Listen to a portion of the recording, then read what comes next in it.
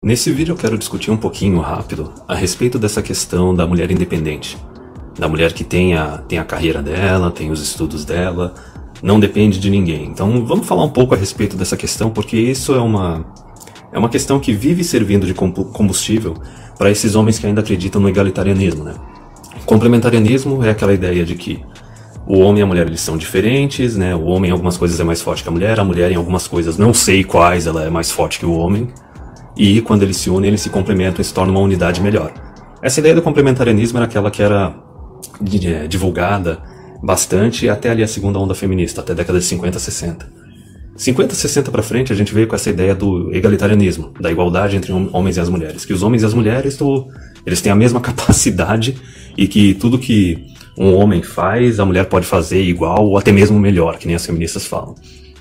Então vamos conversar um pouco a respeito dessa questão da mulher independente. Mulher independente na nossa sociedade é, no máximo, estourando 20%.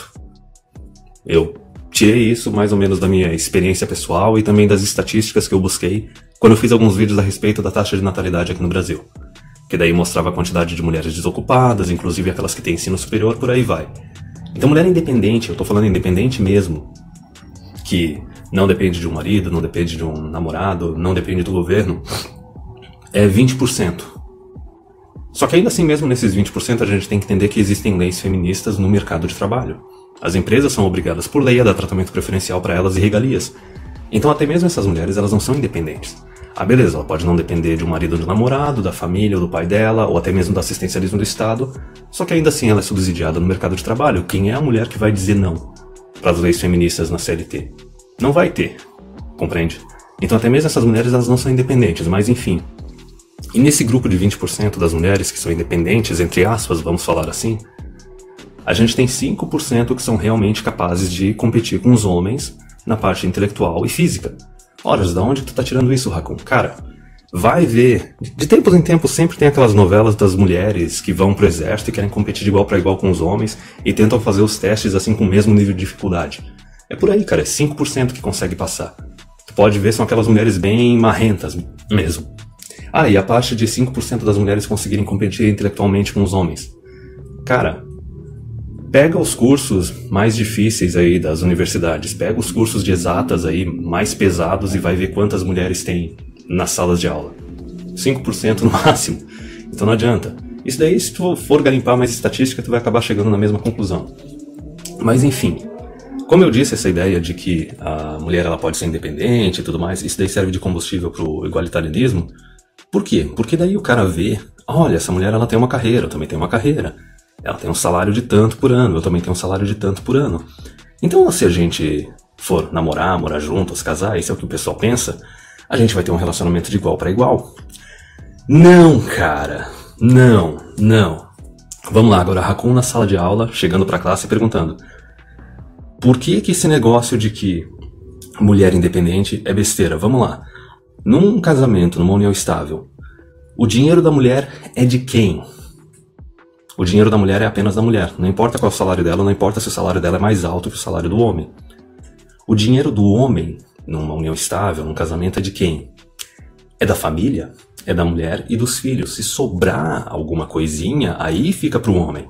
Tanto que se tu for é, garimpar a fundo, até aí geração X, pessoal lá da idade do Dom Sandro, do tio Mictal, que eram os homens que ainda aceitavam se casar e bancar a porra toda, não tô falando que eles fizeram isso, eu tô falando que eles são dessa geração, pro pessoal ter uma ideia mais ou menos. Se tu for ver esses caras, eles no final do mês eles ficavam com um quinto, um quarto, talvez um terço do salário para eles, para eles poderem decidir o que eles vão fazer. E não necessariamente para eles, estou falando de decidir o que fazer, talvez para investir, para garantir uma situação melhor para a família mais no futuro. Então, quatro quintos, três quartos, dois terços do salário desses caras era para a mulher e para os filhos. E muitos desses caras já tinham esposas que fizeram faculdade, mas uma dessas que nem o Fox fala das estatísticas que a gente garimpou. Fizeram faculdade e nem trabalham nem atuam na área onde elas se formaram. Ou essas mulheres também trabalhavam, tinha a carreira delas, mas opa, o salário dela é só dela. Ou muitas vezes ela pegou e depois que estava casada abandonou a carreira. Ué, legalmente o homem é responsável por ela o resto da vida, então ela pode simplesmente parar, ficar só coçando em casa e ai do homem colocar ela pra rua, não pode? Então veja bem, Essa ideia da mulher, ah, mas ela tem uma carreira, ela tem um salário dela bom também, dá pra gente ter um relacionamento de igual para igual. Não, não, porque eu já falei. No relacionamento sério, no casamento, na união estável, o dinheiro do homem é da família, o dinheiro da mulher é só da mulher. E tem outra coisa que o pessoal ainda, Blue Pill, Purple Pill, o pessoal gado ainda não percebeu, é o seguinte, hipergamia. Hipergamia, horas, a mulher ela tem um salário, tem uma carreira, digamos que ela tem um salário ali anual de 50 mil reais. Alto. Agora pensa o seguinte, ah, mas então ela vai se relacionar seriamente com um cara que tem 30 mil anual? Não. 40 mil anual? Não. 50 mil anual? Talvez se ele tiver algum recurso da família dele. Ele pode ser um cara que ele não é tão alto assim profissionalmente, financeiramente, só que ele tem herança, ele é de uma família que é mais abonada. Aí talvez a mulher aceite, porque daí tá dando uma garantia. Mas por via de regra, ela não vai querer se relacionar com um cara que esteja no mesmo nível do que ela ou abaixo dela, que é diferente do que ocorre com o homem. O homem se relaciona facilmente com uma mulher que está abaixo dele e com uma mulher que está no mesmo nível que ele, o cara se sente feliz pra caramba, porque ele acha que a mulher vai ser uma companheira de igual para igual e acha que a mulher vai ajudar a carregar o fardo da família com ele, o que é besteira. Veja bem, a mulher lá que, digamos aí, essa independente que tem um salário anual de 50 mil, o que, que ela vai fazer quando ela for procurar algo sério? Ela vai querer procurar um cara que tenha pelo menos 70 mil por ano. Porque ela já vai pensar, opa, ele tem esses 20 mil a mais do que eu, então ele pode usar esses 20 mil para me subsidiar. E daí tu pode ver com o tempo o que, que ocorre? Ah, a mulher, quando ela tem filho, ela para de trabalhar temporariamente, ou ela vai reduzindo a jornada de trabalho dela, ou ela larga um emprego que estava estressante e vai para um outro que é um pouco menos estressante, mas paga menos. Só que o que, que ela está pensando na cabeça dela? Ela está pensando que o cara está usando aquele dinheiro excedente para subsidiar ela, porque é a obrigação dele. ele colocou o anel, ele se comprometeu, então agora ele tem que sustentar a mulher. Por isso que eu falo que mulher é uma adolescente eterna. Mas esse daí não é o fio da meada. O perfeito para, digamos aí, essa mulher independente que tem um salário anual de 50 mil é encontrar um cara que tenha 100 mil anual.